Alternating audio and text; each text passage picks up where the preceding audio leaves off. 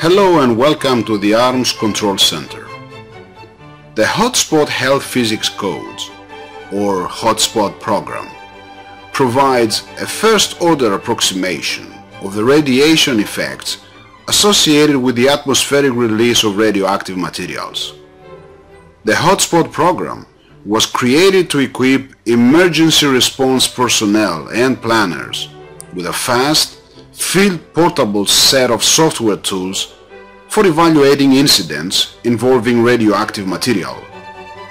The software is also used for safety analysis of facilities handling radioactive material.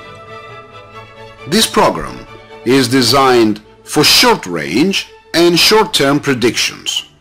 By short range, we mean less than 10 kilometers, and by short term, we mean less than a few hours. The Department of Energy funds ongoing maintenance and development of the Hotspot Health Physics Codes. The Hotspot program has been distributed worldwide since 1988.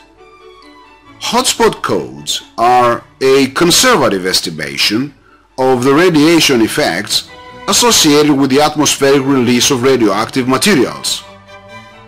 By conservative, we mean the, that the estimated radiation dose is usually greater than the real one. The main user interface screen for Hotspot is now shown To expedite the initial assessment of accidents involving nuclear weapons, Hotspot includes atmospheric dispersion models for a plutonium explosion, non-nuclear, fire and resuspension, plutonium explosion, plutonium fire and plutonium resuspension.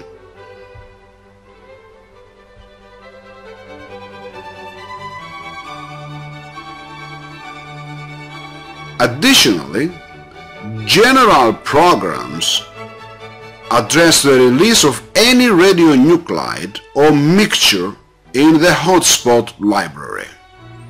These models estimate the short range, less than 10 kilometers, downwind radiological impact following the release of radioactive material resulting from a short-term release, explosive release, fuel fire, or an area contamination event.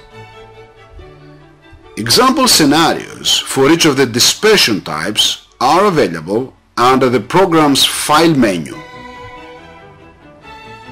In addition to providing example models, Hotspot allows the user to save a scenario, create one, create a mixture, edit or add to a radionuclide mixture. Up to 50 radionuclides can be included to create a mixture. Now let's go to the special purpose programs.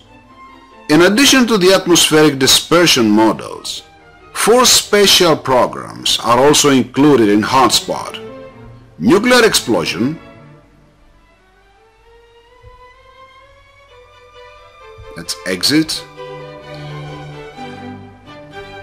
Filter calibration. You can exit that too.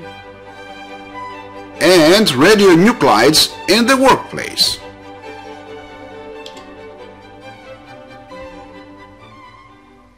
We'll go back to it later. Nuclear explosion. The nuclear explosion program let's open it, estimates the effects of a surface burst nuclear weapon. We also call it ground burst. These include prompt effects, neutron and gamma, blast and thermal. And of course fallout information. Fallout information includes fallout arrival time, dose rate at arrival time, and integrated dose contours for several time periods. For example, the first 6 hours, first day, first week, etc. Users can enter a specific start time and duration of exposure. The user interface screen for the nuclear explosion is now shown on your screen.